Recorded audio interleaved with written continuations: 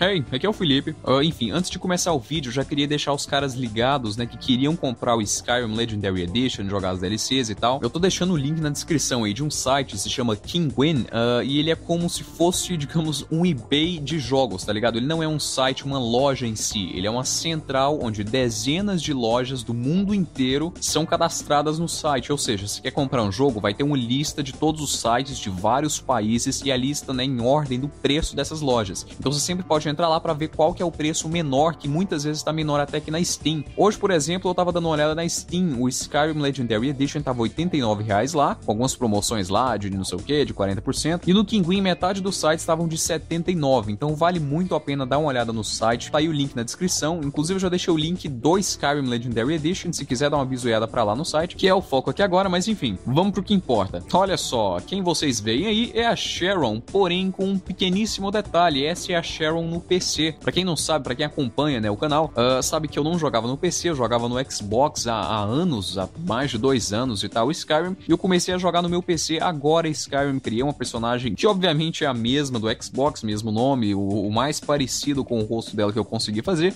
Mas enfim, uh, já respondendo algumas perguntas que eu sei que vão perguntar, né? Que é a configuração do meu PC, a configuração básica. Ele é um i3 de 4 GB de memória RAM e uma placa GT 660, para quem manja aí dos Paranauê. Não é um monstro de demoníaco de potência, mas enfim, já é top para jogar um Skyrim. Até porque Skyrim é um jogo que não é tão pesado assim, você pode jogar tranquilo em vários PCs. E nesse caso eu tô tendo orgasmos ao jogar Skyrim, por quê? Porque no PC, cara, uh, o nível de superioridade é tão grande dependendo do seu PC. Por exemplo, no console, né, que eu joguei a minha vida inteira, uh, você não consegue notar um, como se diz, um FPS tão baixo assim. A maioria dos jogos roda em média de, sei lá, 30 FPS no console, e quando você vê um jogo rodando a 60 ou mais FPS no PC, é incrível o nível de superioridade, o quão gostoso é jogar o jogo com FPS desse nível, entendeu? Você não nota, como se diz, você não acha ruim no console, mas você vê o quão melhor é no PC quando você joga em um PC com FPS alto. Eu, por exemplo, tô sentindo isso agora. Eu nunca tinha jogado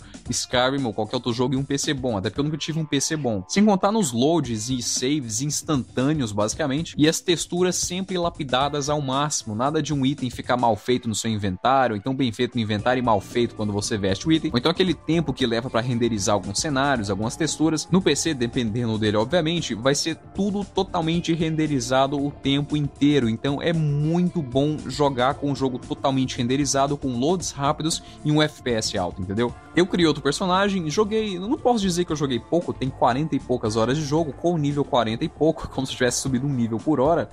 Uh, e eu fiz, digamos, muita coisa. Já explorei também algumas áreas do DLC, já comecei o DLC Dawnguard. Enfim, já fiz coisa pra caralho. Uh, enfim, algumas pessoas pediram gameplays, né, com essa personagem, só que eu não vou estar tá fazendo gameplays ao vivo. Esse áudio que vocês estão ouvindo agora é um áudio separado e editado, entendeu? Assim como as imagens aí de baixo. Enquanto eu não arrumar um headset ou alguma forma de gravar gameplays ao vivo, eu não vou estar tá podendo fazer gameplays ao vivo, entendeu? Então esse vídeo vai servir para quê? Para dar mesmo uma atualização de Skyrim no meu PC e mostrar para vocês os mods que eu tô usando, né? Que eu nunca fui aqueles caras de enfiar mod em jogo e aquele monte de palhaçada que não seja lore friendly, que estraga o clima de Skyrim. Só coloquei coisas mínimas e básicas, em outras palavras, viadagens, né? Só para poder adaptar com o meu gosto no jogo e as coisas que eu achava que tinha que ser consertadas no Skyrim normal de console. Lembrando que se você usa um controle de Xbox para jogar Skyrim no PC, é basicamente a mesma coisa, cara. É simplesmente é, é, é, outra experiência. É a mesma coisa de você jogar no Xbox, porém com a superioridade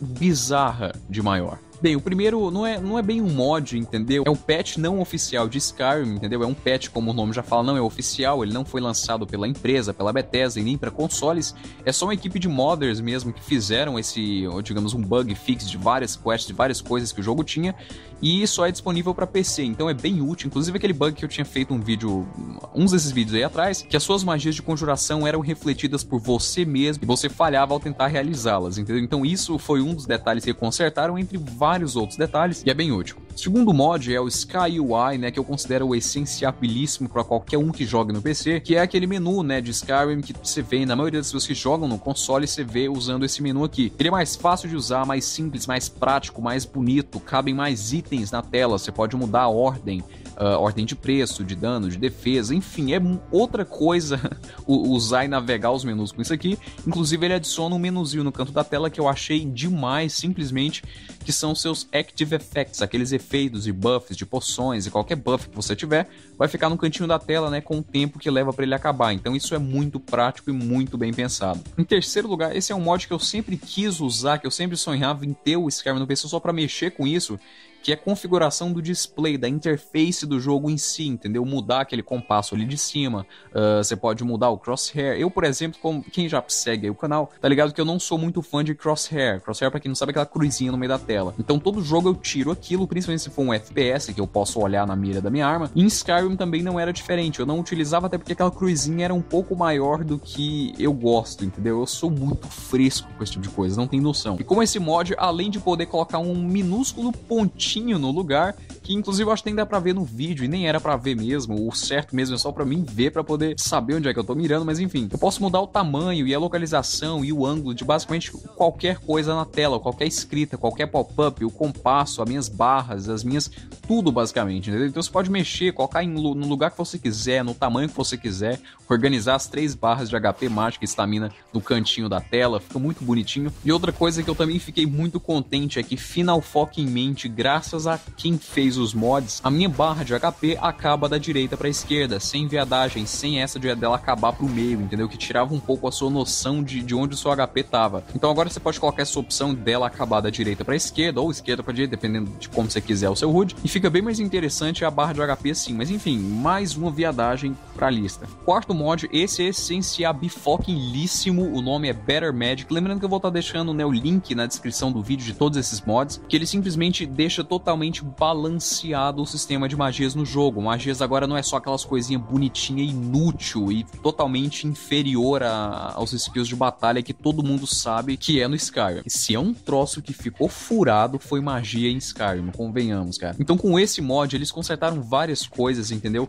Uh, por exemplo, só em Destruction, que é basicamente o foco de, de magias no Skyrim, eles adicionaram uma parada que eu achei bem interessante, que é aquela carreirinha de, de perks principal, né, que são os seus perks de Novice, Adept, Apprentice, Expert Master, que simplesmente você deixa suas magias daquele nível na metade do custo. Agora todos esses perks vão deixar suas magias 15% com mais dano, entendeu? Então já é um puto avanço. A cada 25 níveis você pode pegar um perk desse e aumentar, mesmo que seja de pouquinho em pouquinho, já deixa suas magias não tão inúteis, né, como eram antes. Inclusive, como eu disse, eles não deixaram overpower as magias, eles balancearam. Se é uma coisa que todo mundo tomava proveito era aquele perk Impact, onde todas as suas magias davam stagger e sempre davam stagger. Agora só vai dar stagger em 33% das vezes, ou seja, um terço por cento. Dificulta um pouco, mas pelo fato das suas magias agora em ter o dano aumentado, fica mais balanceado e fica bem mais gostoso jogar com magias assim. Sem contar em todas as outras escolas de magia, que a cada perk daqueles, uh, essas magias daquele, daquela escola em si de restauração, ou ilusão, ou conjuração, são 15% mais efetivas. Então é outra coisa usar magias com esse mod aqui,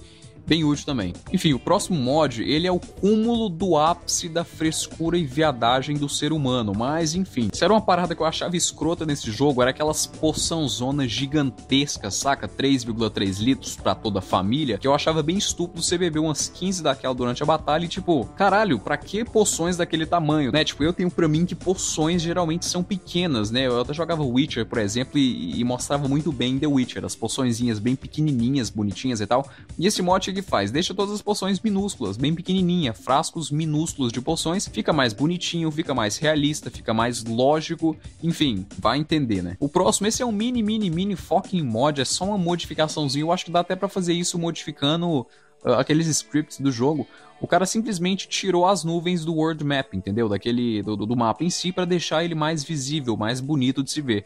Eu sei que tem um, um, mod que deixa o mapa totalmente retexturado, se é que essa palavra existe, com estradinhas e bem bonitinho. Eu não, ainda não baixei, mas eu pretendo baixar, mas por enquanto tá quebrando um galho, né, jogar sem as nuvens no mapa. E por último, esse também extremamente útil e necessário é o mod Better Pickpocket.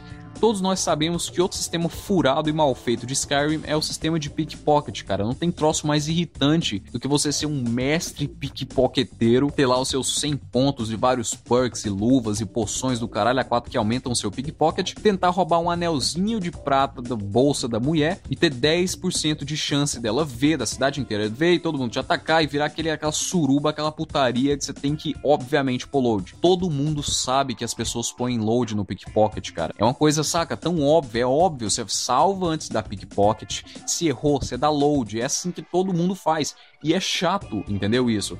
Então esse mod que ele faz, ele é simples, ele não altera nada além de retirar aquele limite de 90%, entendeu? Então se você tem um skill para roubar um item, ele vai ser 100%. Caralho, é simples, entendeu? Então se você tiver um skill alto de pickpocket, se for um item barato, um item fácil de roubar, ele vai estar tá lá 100% de roubar e você pode roubar sem dor de cabeça, sem chance de algo dar errado você ter que pôr load, que é chato. Enfim, esse é o tipo de coisa que a própria Bethesda devia lançar em patches, né, para os consoles também que eu acho meio injusto essa parada de tanta coisa poder ser consertada e no console não, entendeu? Outra coisa, por exemplo, que eu, eu, não, eu não consigo entender, cara, da vontade de, de dar um chute no saco dos caras que mexem com isso em Skyrim. Me responde uma pergunta: por que que nos consoles você não pode dar upgrade em espadas de prata, cara? Tipo, porra, cara, são tão tesudas, tão bonitas, tão úteis aquelas espadas pelo fato de dar dano extra para mortos-vivos, para vampiros. É legal, eu curto armas de prata. E você simplesmente, inexplicavelmente, não pode dar upgrade nelas naquela grindstone, né, na pedrinha de amolar coisa. E eu também baixei um, um mini, mini, mini mod. Inclusive esse mod tem 0 kbytes, cara. Eu nunca vi isso na minha vida, tem 0 kbyte o mod. Mas enfim, ele simplesmente inclui a opção de você dar upgrade nas suas armas de silver difícil isso, cara? Não, não é difícil, viu, Bethesda? Uh, enfim, eu acho que da lista é só isso, entendeu? São poucos mods e nada que altera tanto assim. Você vê o jogando, você mal, mal nota o que, que tem de diferente no, no, no jogo. Uh, como eu já disse no começo do vídeo, não vou poder fazer gameplay tão cedo, a não ser que eu arranje um, um headset que né, me possibilite fazer gameplay ao vivo. Inclusive, um dia, cara, Uh, eu vou fazer um vídeo, tentar fazer um gameplay ao vivo com o meu headset só pra vocês verem a merda que é. Eu não entendi, cara. É um Siberia V2, era suposto a ser ótimo esse headset, o áudio é ótimo, a confortabilidade é a maior que eu já botei no meu ouvido, só que o microfone simplesmente não presta, cara, fica baixo e chiado. Eu já tentei pesquisar um monte de coisa, mudar um monte de coisa de configuração, mas enfim, ainda sai uma merda o áudio. Mas um dia eu resolvo isso, né? Vamos ver isso aí daqui pra frente. Por hoje é só, o vídeo vai ficar muito grande, eu já prevejo. Como agora no PC eu posso, né, acessar o, aquele menu de, de mexer com a cara do meu personagem qualquer hora, talvez o próximo vídeo, né, assim como várias pessoas pessoas pediram, eu vou passar a receita da minha personagem, a receita da Sharon, para vocês fazerem aí. E, enfim, de resto é isso. Muito obrigado por ter assistido. Não esquece de dar uma olhada lá no site para baixar o jogo. Se gostou, não é inscrito, já sabe o que fazer. E é isso. Muito obrigado por ter assistido. Valeu, falou e até a próxima.